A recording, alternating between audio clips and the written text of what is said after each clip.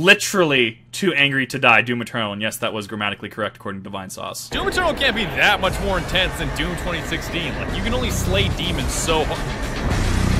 Why do I hear music? Where is this coming from?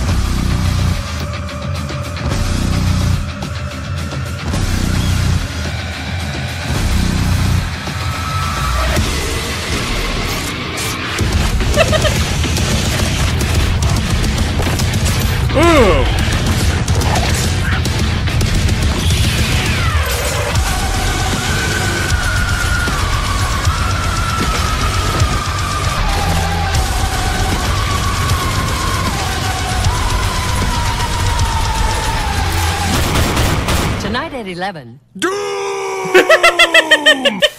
Welcome to Doom Eternal, bitch! bitch. The game that's everything you want, and more. And more. And more. And we're getting slammed over the head with more. Oh, yeah? Well, can your Doom 2016 bonk? Yeah, didn't Bonk! think so, my man. This is not a sponsored video, first off. Much like the Rage 2 video, Bethesda was like, we'll give you early access if you make one of your dumbass videos, to which my reply was, Sign me the fuck oh, up! so even though they gave me an awesome signed poster and a neato Doomslayer action figure, I've received absolutely no money, signed no contract, not even an NDA. We paper free up in this bitch. I was allowed to play for three hours, record for one hour, and I have distilled everything that I experienced into this one video to feast your eyes or eye on. Oh god, what happened to Mike Wazowski? Number one, playing Doom Eternal put me in a trance. Like I was so engaged in the action, the world around me ceased to exist, and it Man, I have not played a game like this in a hot minute. Where some sometimes I can emulate it in Destiny, sometimes I can emulate it in other games where the action is just it's so consistent and it's it's just it's such a, a, a- it's a gameplay it, it is its gameplay loop that you just cease to recognize reality and you're like you blink and six hours have passed. I miss that. It took a dev touching me for me to snap out of, whoa, hey, take it easy, Badger. That demon had a family. I know. They're next. But beyond the endless violence that you should already expect, the main theme I want you to keep in your head bricks. Doom Eternal Brick. is all about building a Doomslayer from the ground up, which, much like a house, is done brick by brick. Nobody beats the brick! At the beginning of the play session, it was, I hope I get some neato guns so I can win this war. Then by the end of the play session, it was, I am the war. And the story of that transformation is the story of this video. So let's start building the Slayer one brick at a time. The Slayer has arrived. All mortally challenged personnel, please be advised. The combat shotgun is square one, which is beyond self-explanatory to even the newest Doom Slayer. Did you mean my right hand? Once you've blasted away your first few waves, then come the mods, going the direction of either grenade launcher. It's not a grenade launcher, it's a sticky bomb. Shut up! Or full auto shotty, and although you can swap to either on the fly, you can guess which one I prefer.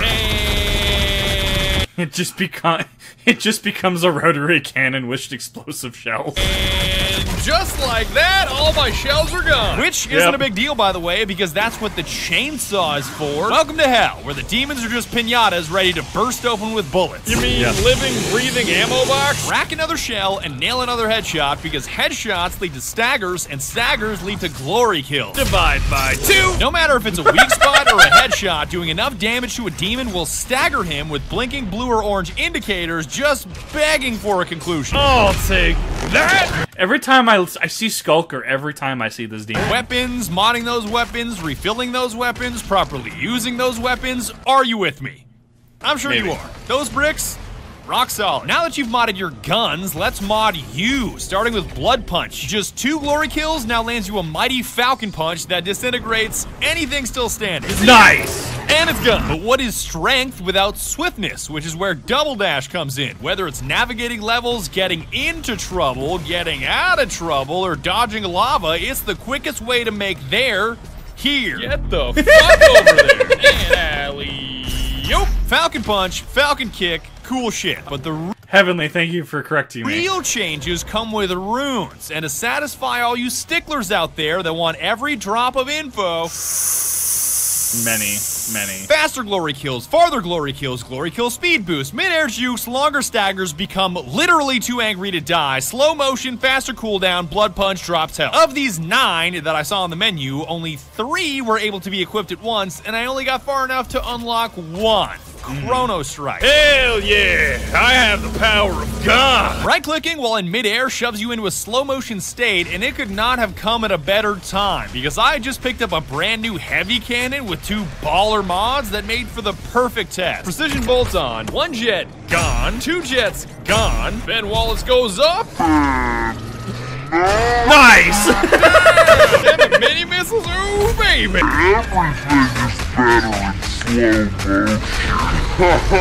You see what I'm saying now? Weapon mods are cool, suit mods are neat, but runes? That shit pours gasoline onto an already raging fire. No other upgrade comes close.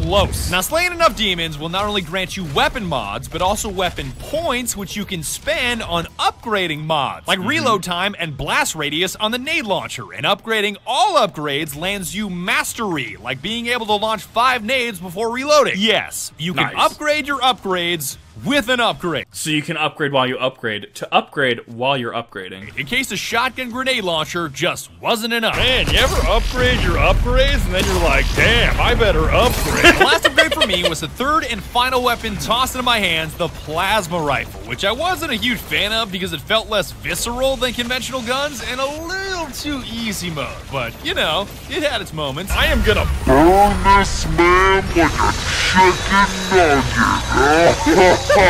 I feel like we're making progress here. Bricks are starting to fall into place. Modding your aggression, modding your movement, mods of time, all the way to mods of mods. You're building the shape of this Slayer to suit your playstyle. But even mm-hmm. more critical than the firepower itself is when and how you use it. Enter the demons. Mike Wazowski looking Cacodemon, perfect example. you can spend 15 seconds lobbing random shit at this guy, or you can blast one grenade in his mouth and make sure there's never gonna be a monster's in. Nice. He shoots, he scores, and just like that, we got a 23-19.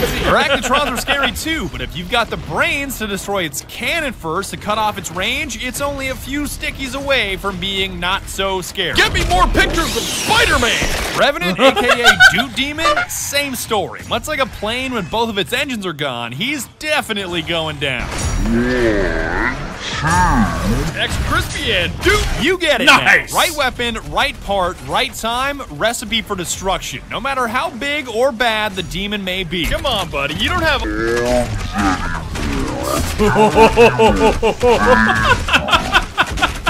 Except for Hell Knights. I have no idea what the fuck to do with those guys apart from spam all the shit you've got and wait until he turns orange. My raffle knife goes slice. Not all of your Knife go slice. Wow.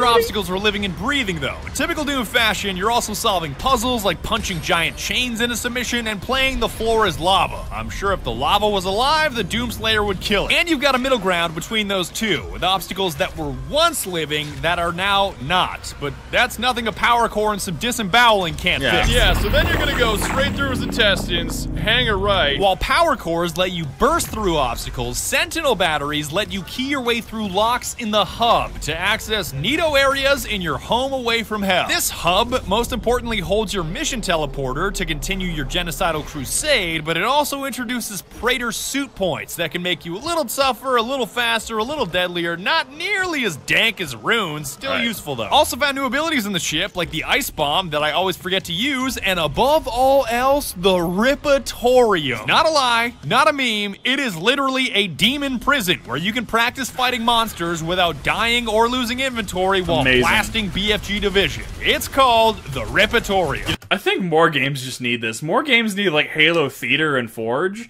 and then more games need this, which is just a test mode, like uh, like a firing range. More games just need these as features. Now, I would say this is against the Geneva Convention, but I'm 100% certain Geneva doesn't exist anymore. These bricks really starting to add up. You know the weapons at your disposal, who you'll be using them against, where is best to hit them, navigating the obstacles between them, and where you can hone your demon slaying craft by abusing prisoners. With all these bricks starting to solidify, I finally understood what the creative director Hugo Martin was talking about when he first spoke to us before we even started playing. At the beginning of the playtest, my style was ham-fisted, random, and crude, but by paying attention and building each small improvement to my Slayer, I was able to transform that style into something deliberate, methodical, and although still endlessly chaotic, efficient. It felt like going from banging my fists on a piano to finally putting my fingers on the right keys to produce something that resembled music.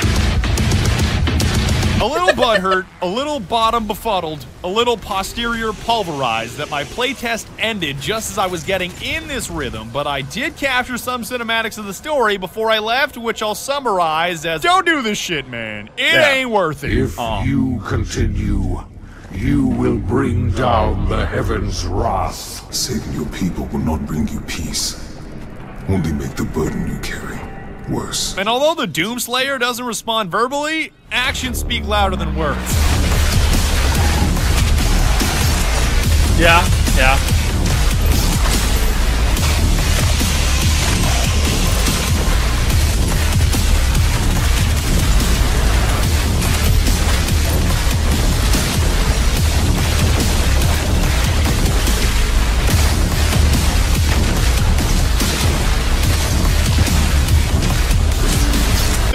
About it. That is the best that I can squeeze out of one hour of gameplay. Shout out to Yeah. Sean over Bethesda for hooking up the early access. Hugo Martin for tech support. That's right. The creative director came over and helped me with my game when it wasn't loading incorrectly for like 20 minutes. It was hilarious. So man, Hugo Martin, Mm, builds be that way though. Builds are interesting. Real ass gamer, all right? Real ass gamer. He's not some executive up in his ivory tower. Look at all the responsibility that I have. He is a genuine class act. id Software and Bethesda. Legend. All these signatures on this thing really mean a lot to me. I've never gotten one of these before, so I appreciate you giving me my very first poster. And I have no idea what I'm gonna do with this. I imagine it's indestructible, so I might just use it as a doorstop. And with that being said, I'd like to thank you so very much for watching. I really appreciate you watching all the way to the end of the video. Doom comes out on March 20th, 2020, so you're gonna have to wait. Congratulations to Potato God for getting an A plus on his project where he interviewed me, and be sure to tune in next time when we argue if anger is a reliable source of energy. Mm, technically. Keeping it real. March 20th, 2020 is gonna be like, like, with so many people playing the Doomslayer at the same time, will it heat up the Earth's crust with all the anger? Maybe. I don't know. Probably not good for global warming. I'm still playing it either way, and nobody can stop me. God, that is that was amazing. We, we we've now seen the Max0r video and now the Badger video, and uh, Kip actually went ahead and bought Doom Eternal today, so I have both of those installing. Uh, we'll get to Doom at some point, I assure you. It'll be it'll be interesting. Never played Doom, but everything I'm hearing about it is it's nothing short of just epic and legendary, if you will.